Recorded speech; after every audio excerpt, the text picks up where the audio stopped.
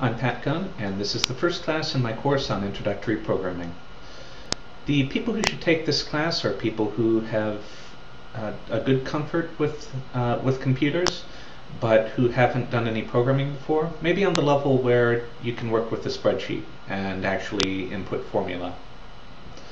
Over the course, I hope to get you to the level where you'll be able to understand and write moderately complex software and uh, also understand what programming is, what it's like, what it's like to be uh, to have a, a, a programming project, um, how code is structured, things like that.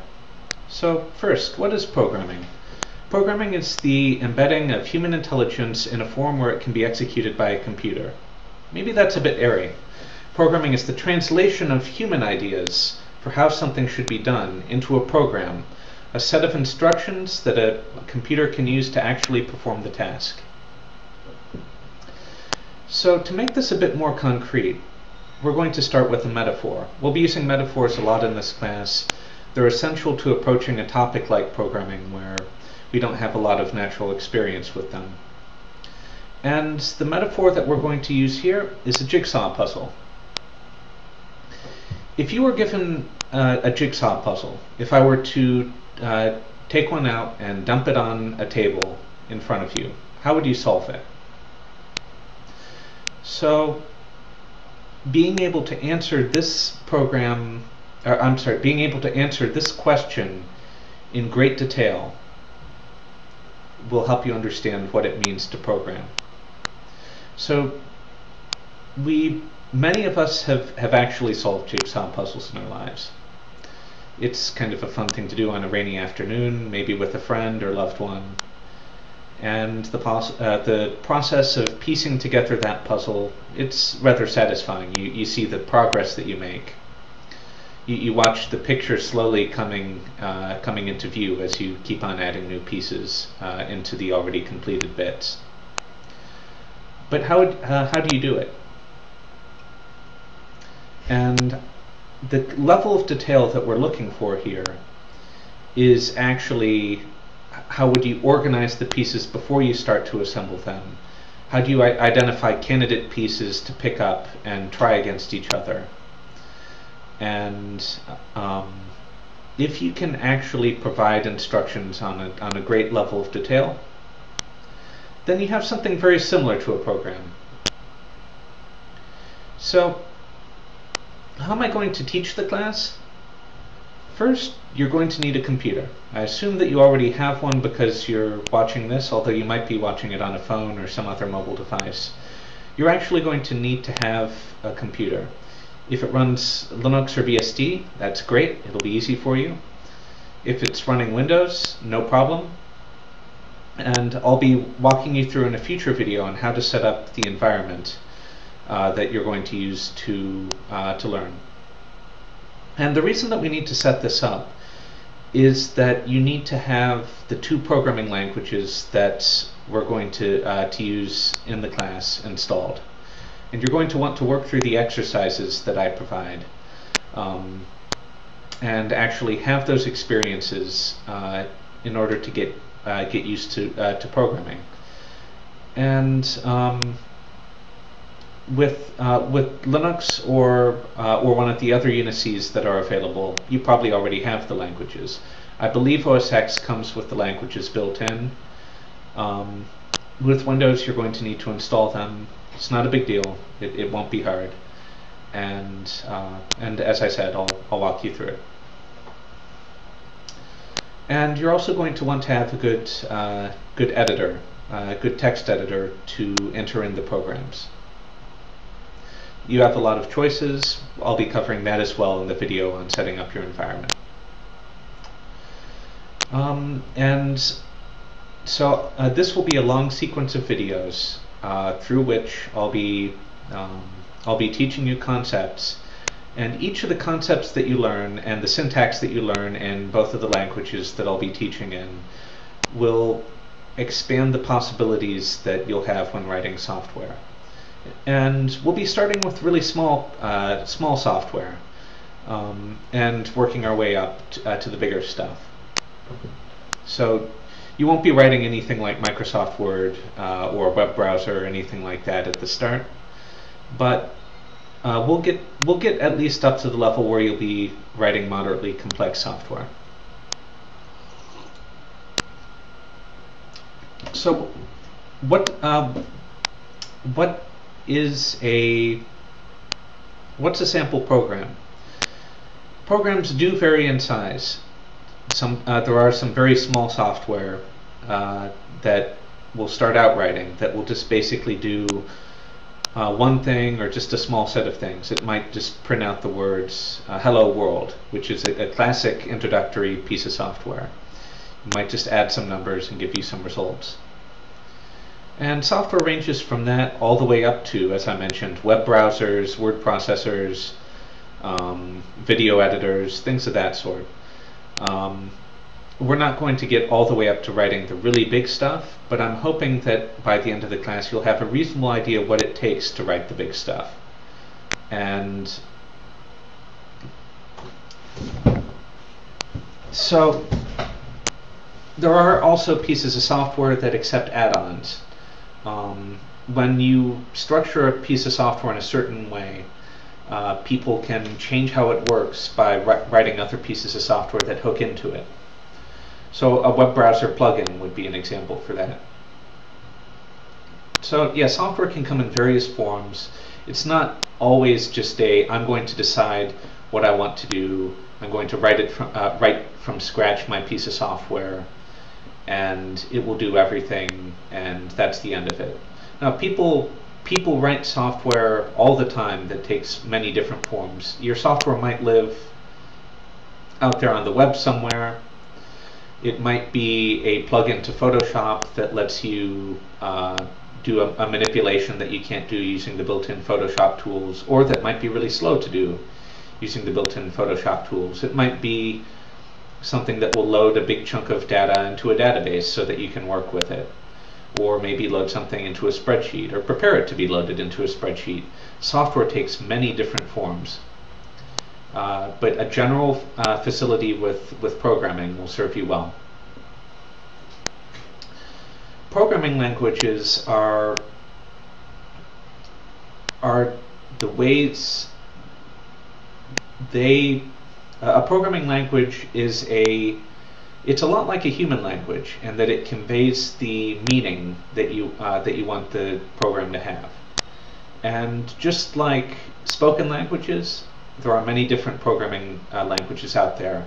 It's possible generally to say that you want a certain thing done in many different languages, and they'll be written a little bit differently in uh, in different languages. Just like if you were going to write the phrase, uh, "I would like to purchase a sandwich," in Spanish or Italian, they would have a certain similarity to them, but they wouldn't be phrased exactly the same way. So we'll be learning two programming languages over, uh, over this course, uh, Perl and Python. And these are two scripting languages. They're reasonably similar in a lot of ways. They're a little bit different. And the reason that I'm teaching both of them is that I'm not intending to just teach you the specifics of one programming language.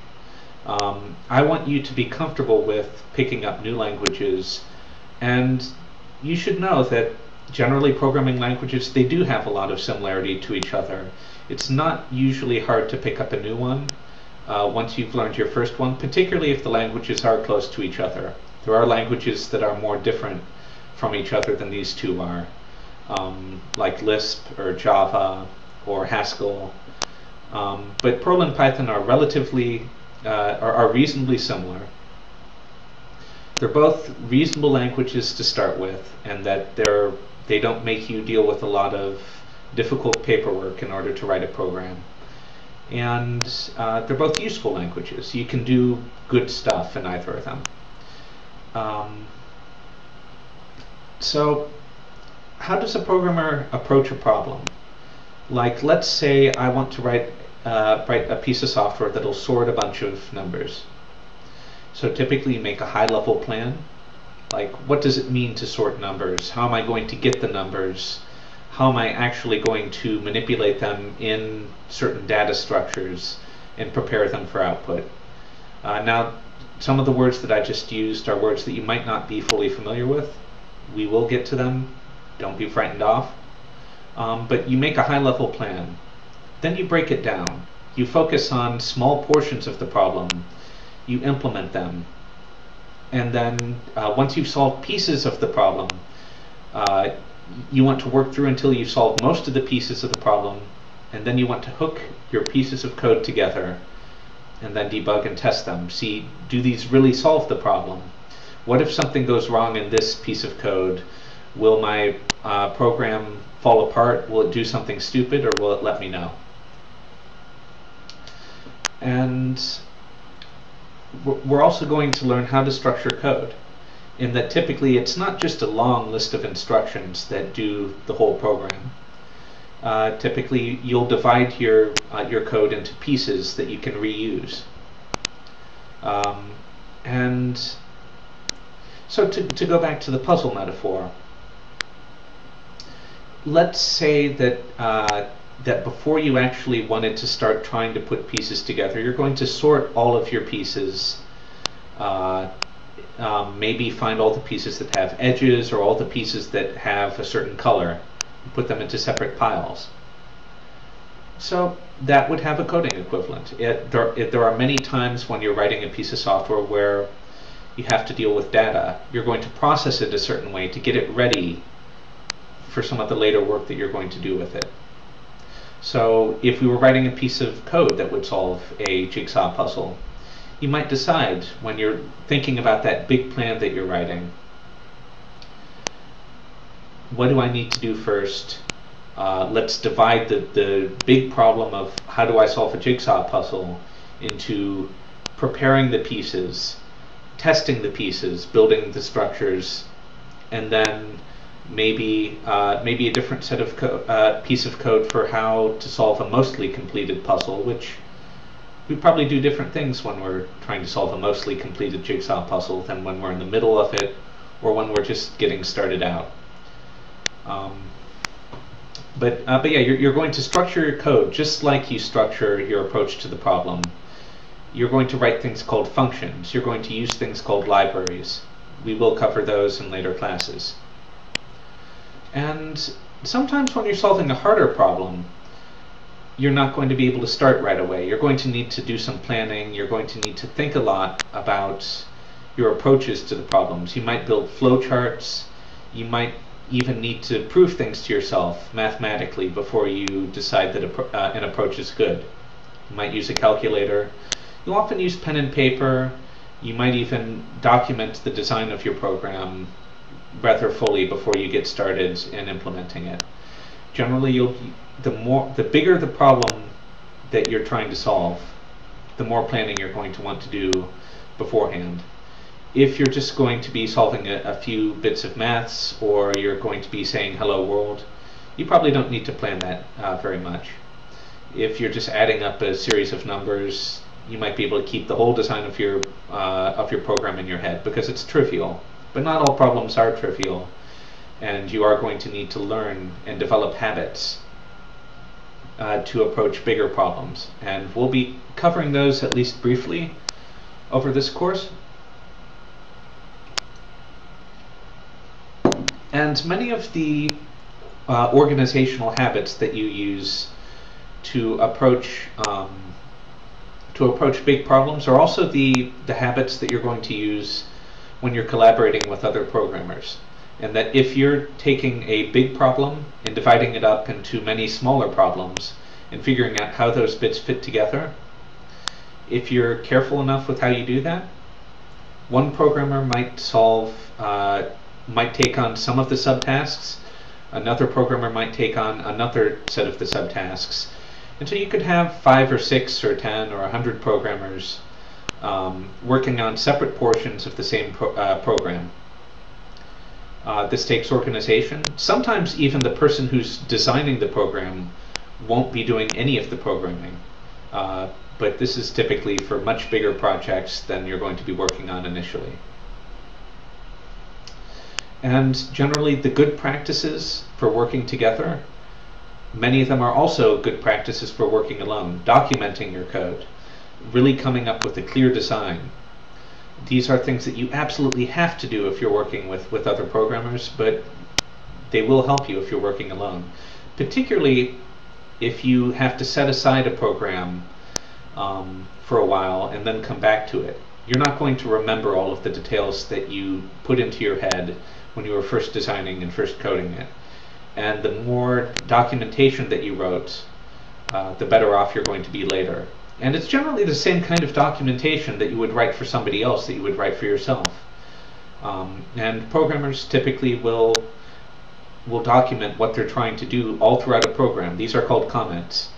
And some people comment a lot more than other people do, but generally if you have a big chunk of code and you're not uh, commenting it at all, you're probably doing something wrong. So yeah, a, uh, a, program, it is not something you write once. It, it, usually it's not something you write once, you're done with, and you put it away forever, or it's perfect and um, and you're going to be able to find it useful forever. Typically, you write it once, and it's not perfect. It might have some problems. It might not always do the right thing, but it might be good enough. And you'll come back to it. You'll decide this wasn't quite right, or or sometimes even I'd like to solve a problem that's related to this. My code almost does the right thing. Um, I'm going to copy bits of it into my new program that I'm writing to do something different, or I'm going to modify this old program to also do this new thing, or to do this new thing instead.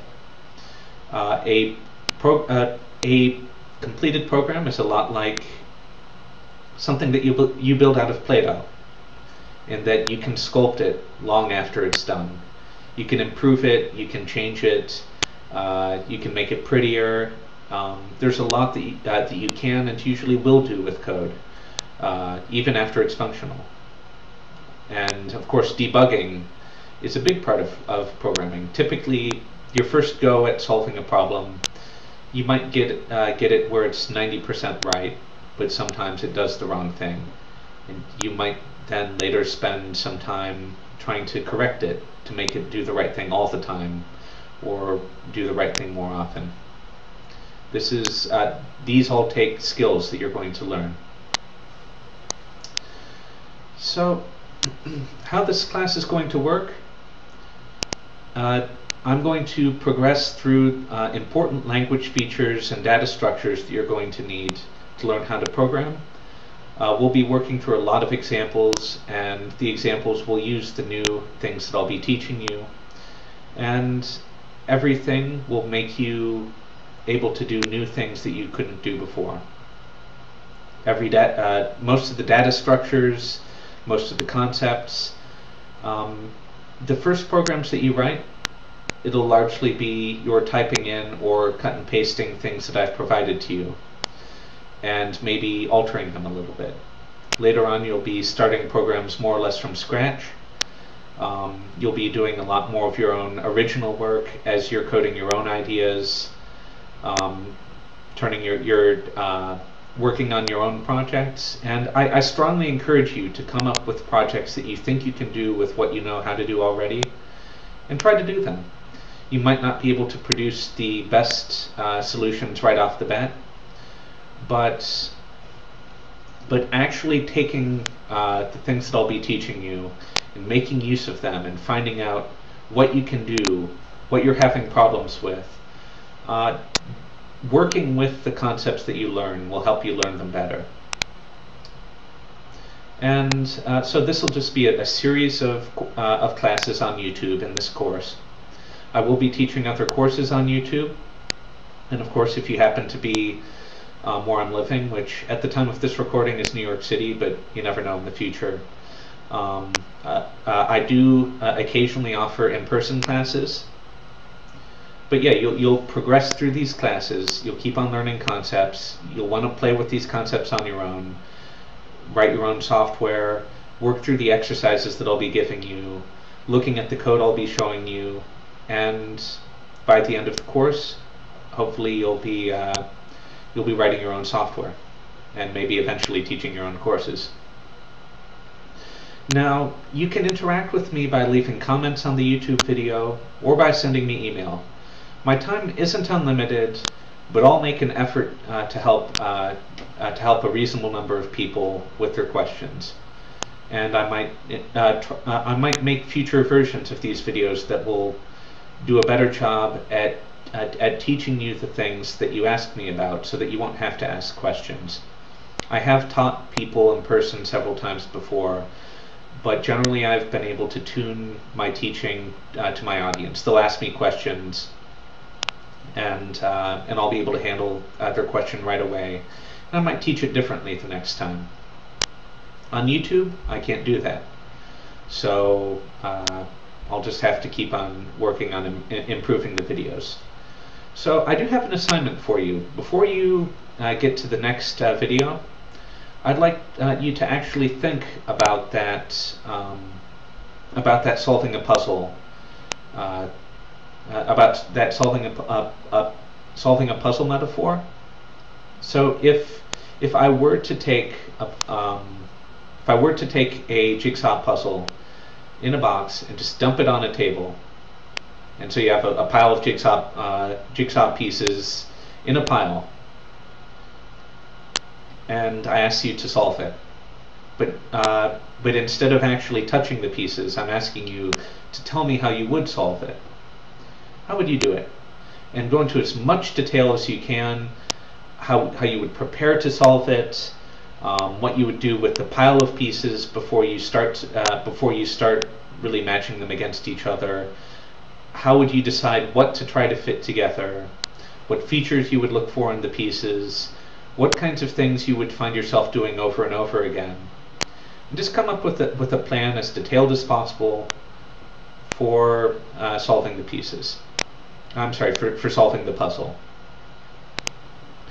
And uh, if, so I, am not necessarily asking you to email th uh, this to me, although if you want to, uh, feel free.